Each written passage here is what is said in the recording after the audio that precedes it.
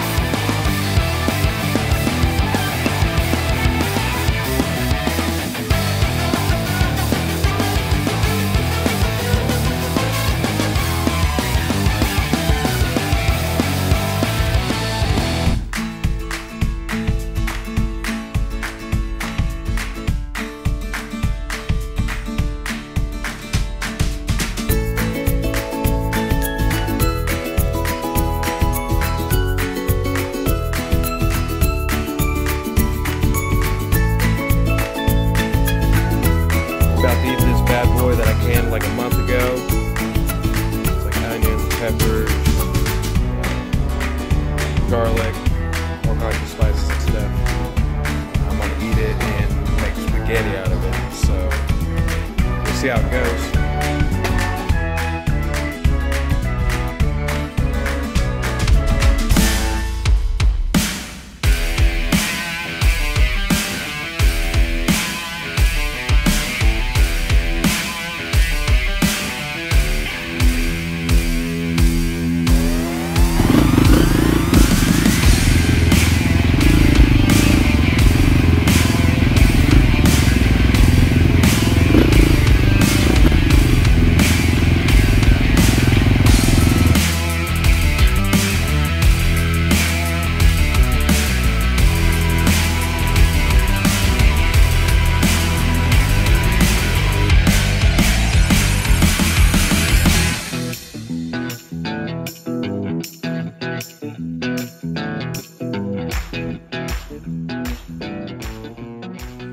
What is up YouTube? IP2 here, and I am on my little YouTube vacation still, but I'm out in the garage. I figured I'd shoot a little video and upload it when I come back, but there's my little bug out, bug out whip right there. I'm getting it set up with all of my, uh, I'm getting jumper cables set up in it.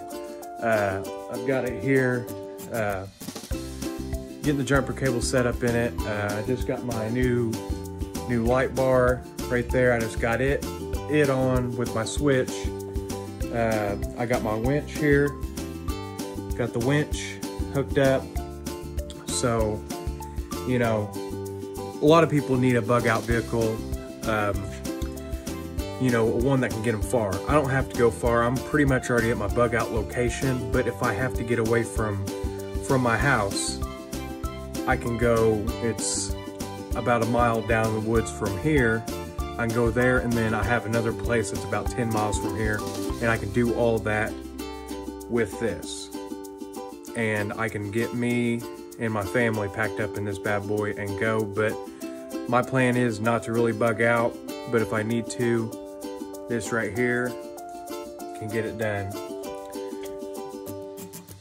So, what I want to talk to you guys about is if you're planning on trying to can or planning on canning or anything and you just you're not really pulling the trigger on it because you don't know how to or anything like that whenever you see them at the store go ahead and grab them because here whenever it warms up they're gonna be hard to get. I mean, my walmart's had them so i've been stocking up on them here. You can see them here i got them there. I've got them over here. These are actually uh, mason jars. They're just off-brand, still work though. Right here, I got another off-brand mason jar. I got these mason jars. I've got I've got mason lids for days from from Canon. Uh, we got a whole nother. Right here, I got my my mealworms for my chickens.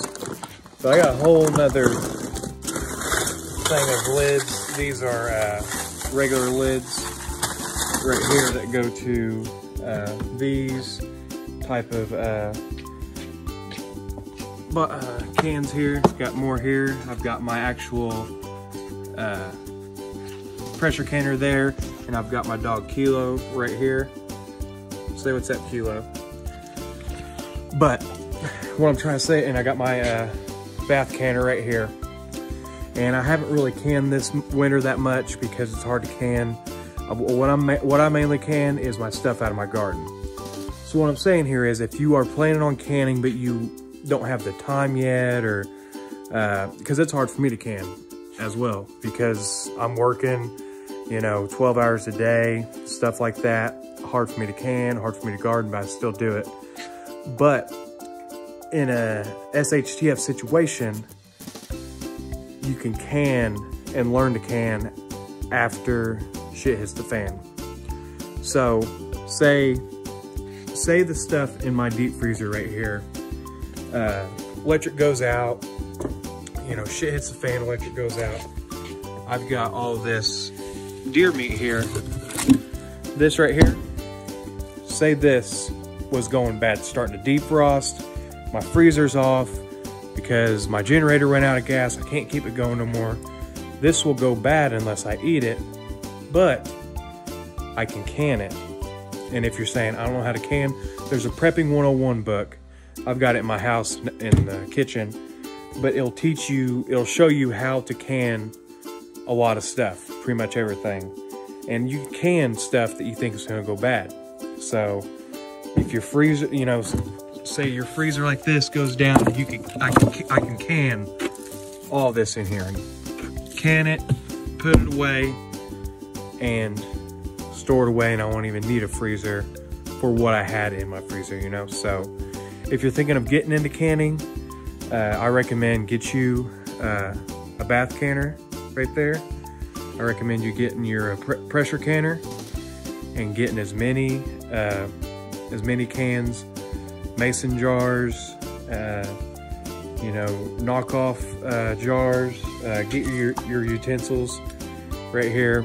I've got these. These are good for grabbing jars. but there's nothing like having these right here. These are awesome. You just come in, grab the jar like that. And I've, I'm gonna get on making some canning videos. I've just been, been busy. Uh, also, you wanna get you a funnel for when you're putting your stuff in your, your uh, mason jars. So yeah, that's just a little thought of mine. Uh, also, uh, make sure you uh, keep uh, rat uh, rat poison because they'll come and eat all your uh, your preps. I've been having problems with that, but anyways. So yeah, if you've been thinking about canning, go ahead and pull the trigger on the supplies. And even after shit hits the fan, you can still teach yourself how to do it. If the, if the internet goes down and you can't learn nothing off YouTube or nothing, get you a hard copy of Prepping 101, a book, any kind of prepping, uh, canning book, and it'll show you what ingredients you need and stuff like that. Get that stuff.